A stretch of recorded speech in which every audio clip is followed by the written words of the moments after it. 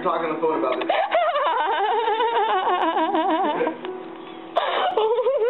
Oh.